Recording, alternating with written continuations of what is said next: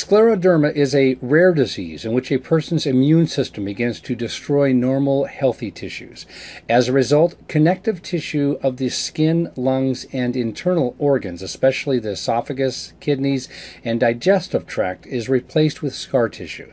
This change causes the tissues to become stiff and the muscles to not work as well.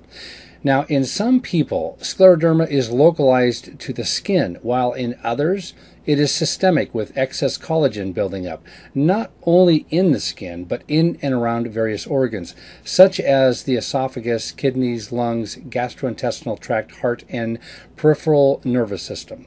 Organ involvement leads to many accompanying complications.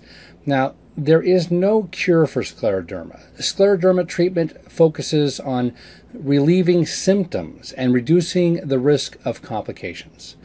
For more information on scleroderma treatment, please click the link below.